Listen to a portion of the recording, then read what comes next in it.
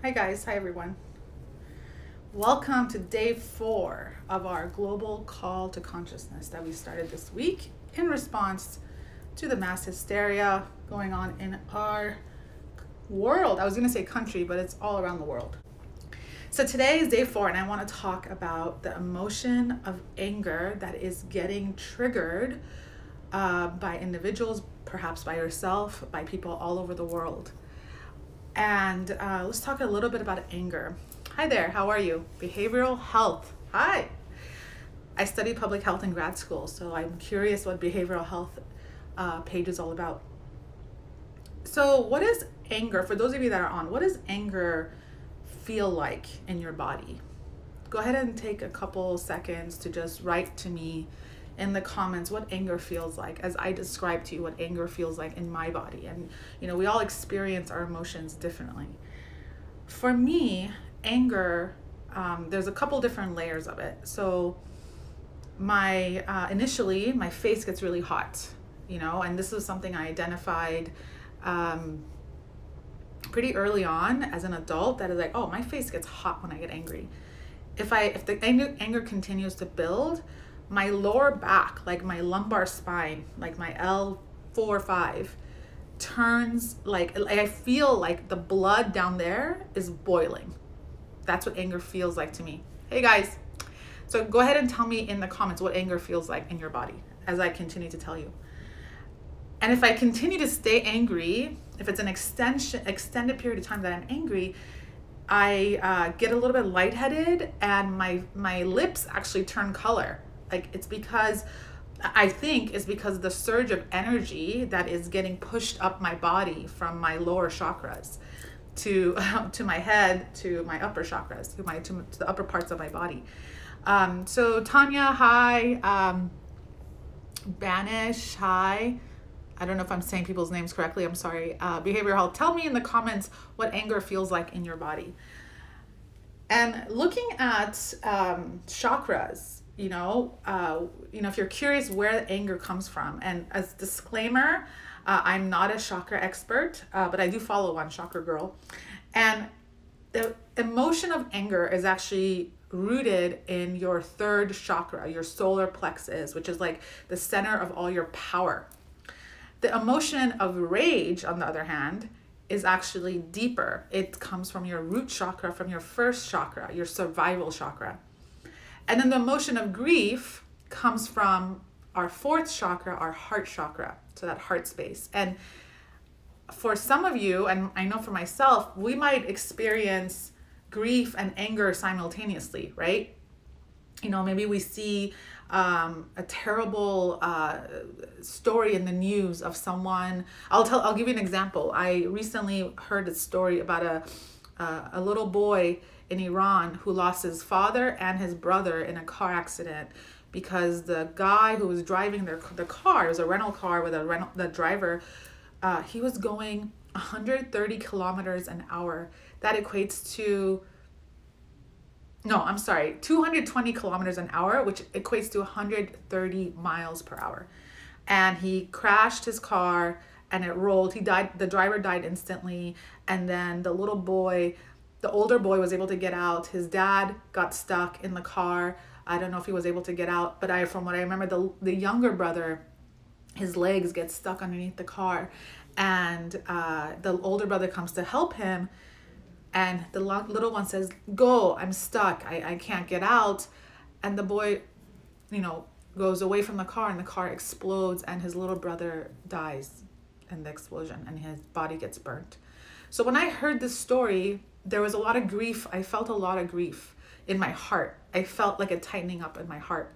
But I also simultaneously had a lot of anger. I had a lot of anger for the driver because apparently this driver would brag about multiple times getting into car accidents where his car would like roll and he didn't and he survived them. It was like a, a point of like something he was very proud of.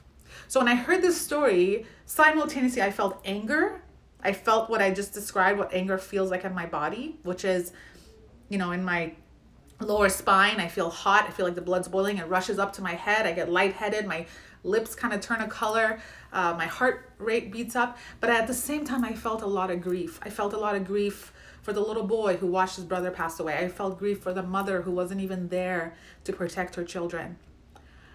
And our emotions are not so black and white, right? So there, there's a wide range of things that we feel every single day, and we don't even know what we're feeling. And if we are tuned into our emotions, uh, we might have some ability to, I don't want to say control it and like kind of push it down, but ability to respond and not react. So let me see what you guys are saying. So as you're joining, please tell me in the comments what anger feels like in your body. So Tanya wrote, it feels hot, my face gets very hot, but I also feel sick to my stomach, like a nausea. Yeah, I get that. Hi, Deborah, how are you? Hello, hello, Paolo, hello. Anyone else writing about what anger feels like in their body? No, okay. Um, so so the reason I, I'm talking about what anger feels like is because there's a lot of emotions being felt right now at this time in our world, given the hysteria, the mass fear around coronavirus. And it's not just fear. We talked about fear the last two days, but I want to talk about anger specifically because there are things that are happening that we're learning about in the news that are creating a response of anger in our body. And I want you to be aware of what anger feels like for you so you know that your response is one of anger. Uh, and it's coming from that third chakra, from your solar plexus. And your solar plexus, just so you know, is it's your source of personal power, will, energy, um, effectiveness, self-esteem, social identity, and happiness. That's what the uh, this third chakra, the solar plexus, kind of dominates. And so anger comes from there. If you feel rage, like you want to like kill someone, that comes from your survival chakra, which is at the bottom at your root.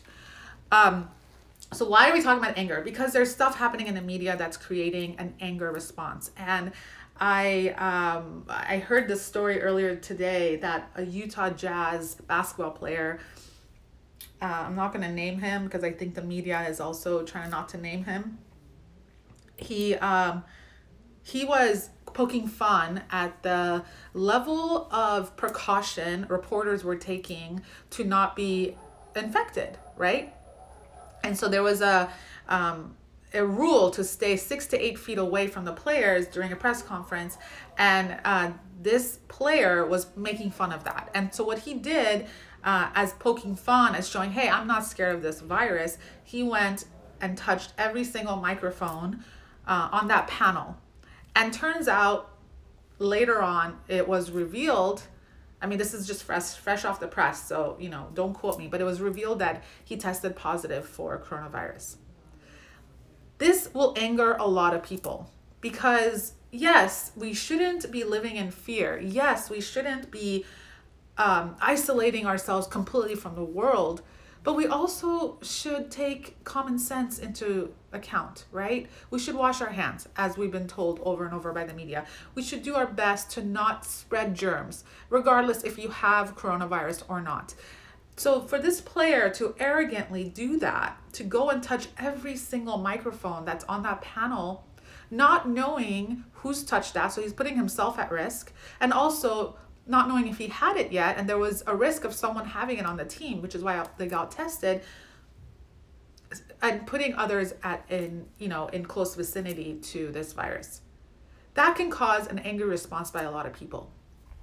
I when I heard it, I almost I I, I laughed a little bit because I uh, was thinking about the movie Idiocracy. If you've seen it, it's from 2006.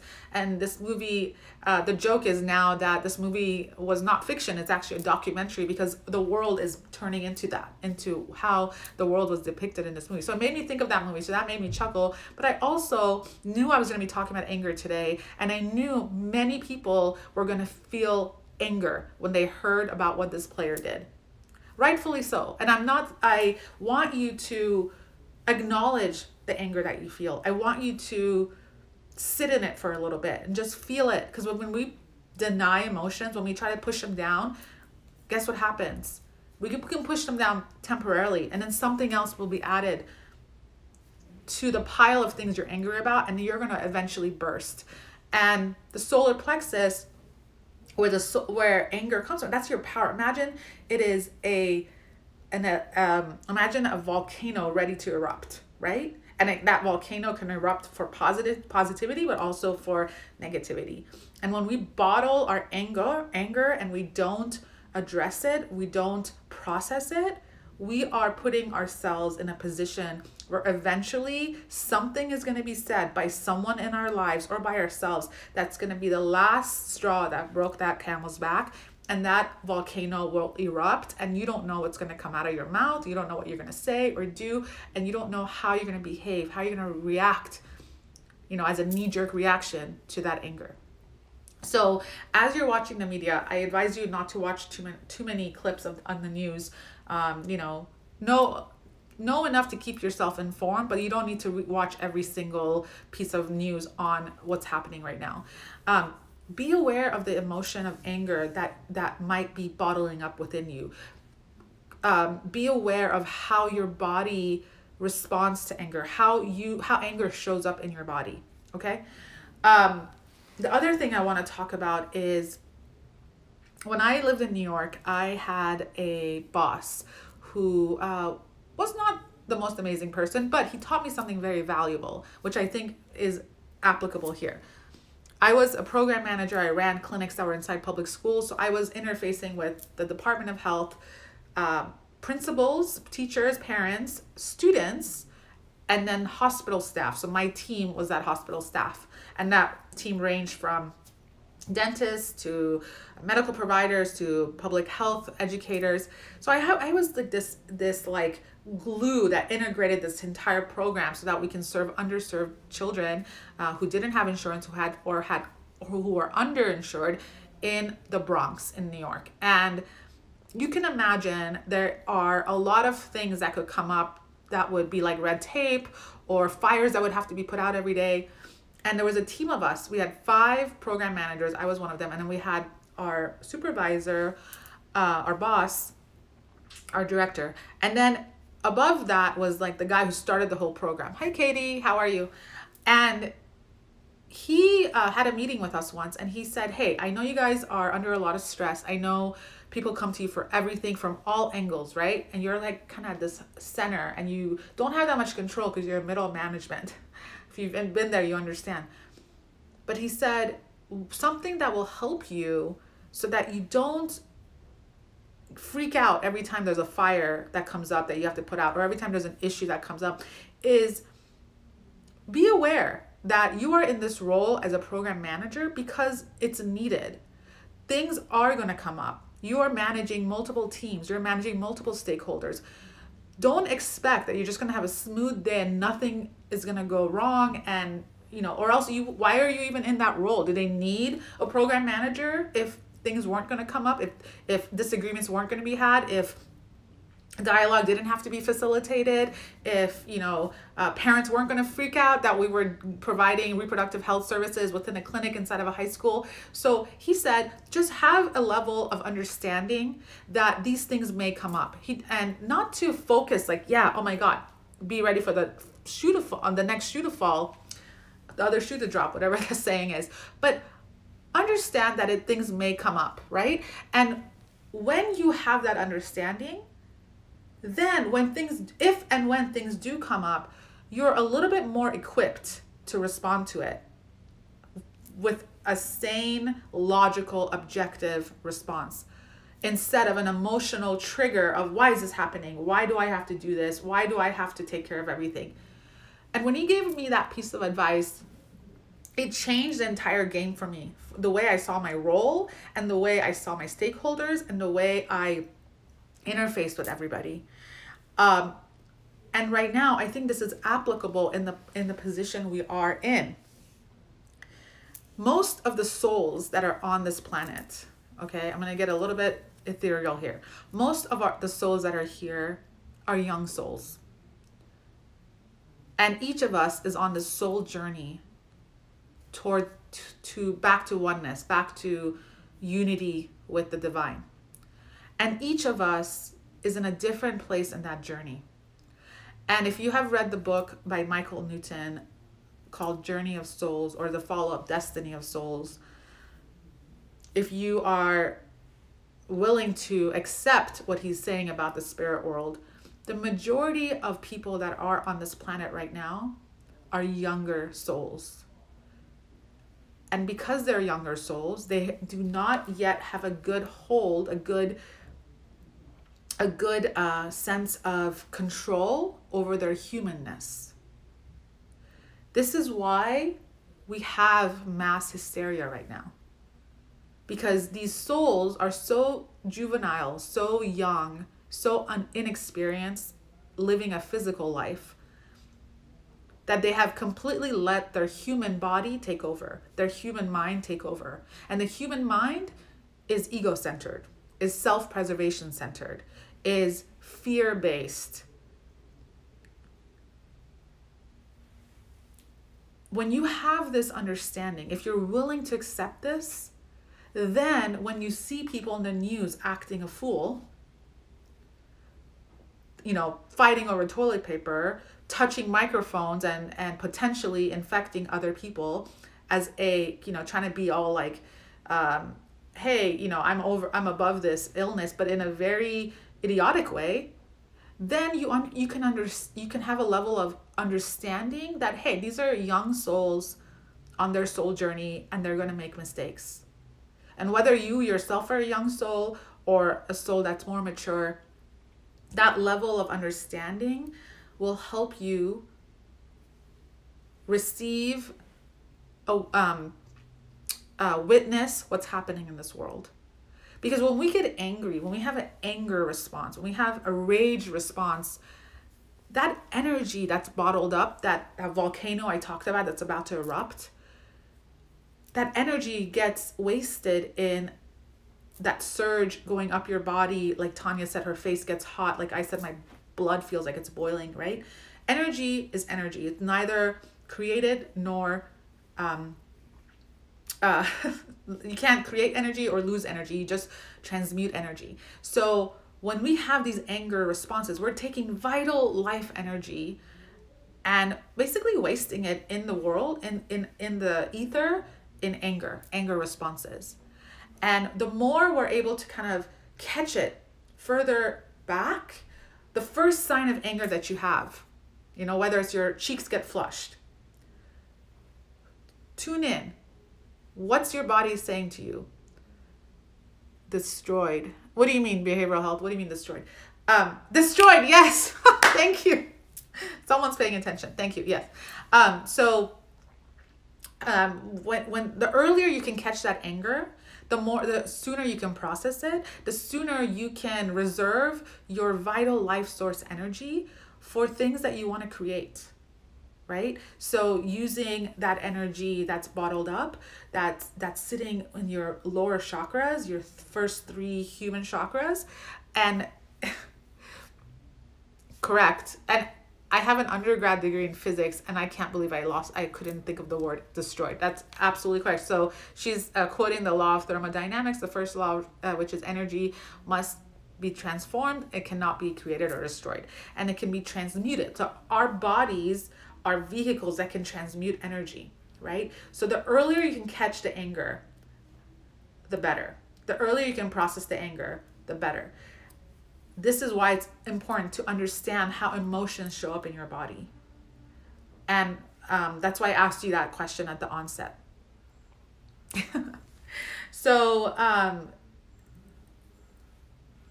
if you've had some anger responses to what you're seeing in the media, I have a lot of friends who've had anger responses to due to what's happening in the media.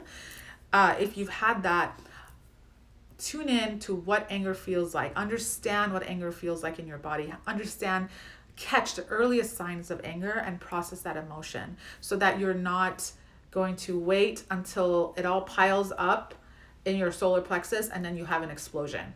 And then that's wasted life source energy that you could have put towards a new project, towards, you know, your family, towards whatever it is that you actually care about investing your energy in, literally investing your energy in. Uh, let's see. I think I covered everything I wanted to talk about today. Yeah, that, that is all I wanted to cover today about anger.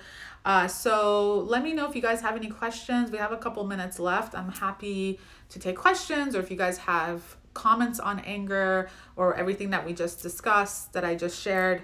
Um, I'll give you guys a couple seconds to respond to that. Hey Ellie, how are you?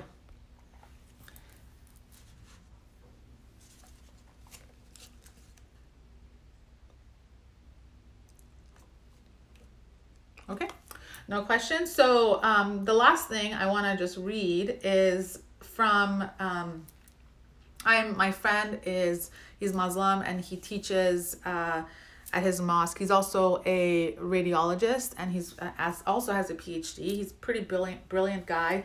He was um, someone I worked with early in my life uh, after college.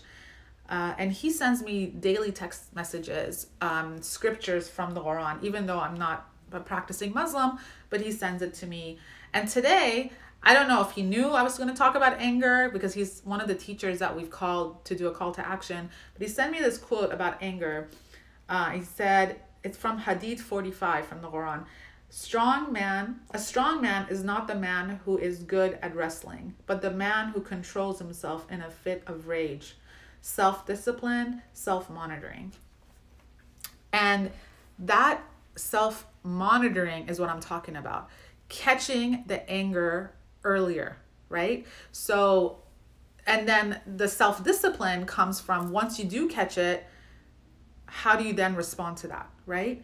And the self discipline also comes in if you don't catch it early enough, how are you going to respond if the volcano did erupt?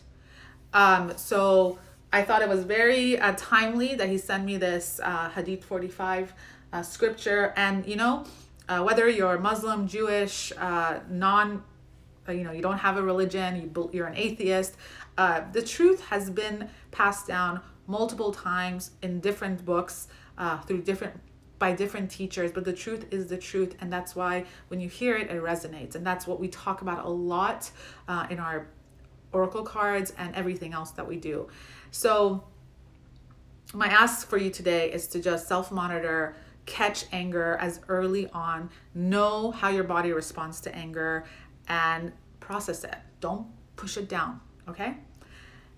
That's it, guys. Uh, I'm going to close out the live. Join me at 12 p.m. Pacific time. We're going to do a 15 minute guided meditation. Bye, guys.